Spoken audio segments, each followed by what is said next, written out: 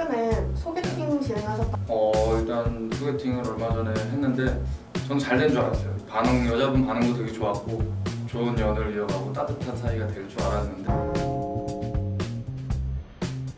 친구한테 이제 전화가 왔어요. 전화를 받았는데 피부가 좀 안 좋다 그랬나? 가까이서 보니까 좀 깨끗하지 않다? 약간 그러더라고요. 아 근데 저 정도면 좀 피부 괜찮은 편 아니에요? 이 정도면 뭐 깔끔한데요?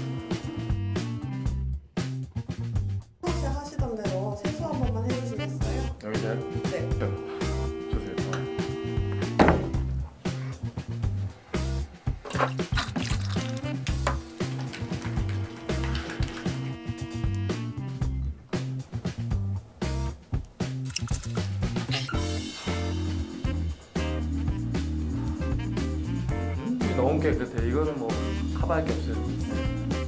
이걸로 얼굴을 한번 닦아주세요. 그게 뭐야? 그게 뭐야?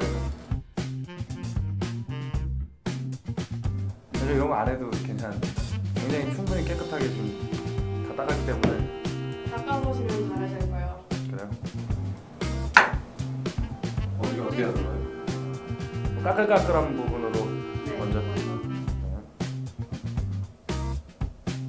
오 정말 때 밀리는 느낌.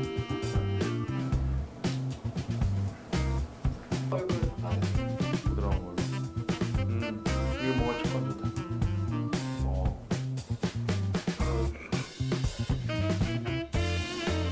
다 닦으셨나요? 네.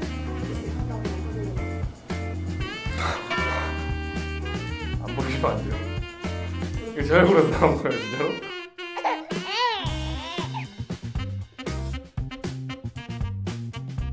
아까 폼크렌징으로 되게 깔끔하게 씻었는데 얼굴에 남아있던 미세물 같은 거예요? 어, 에이, 소개팅에서 까인 이유가 있네.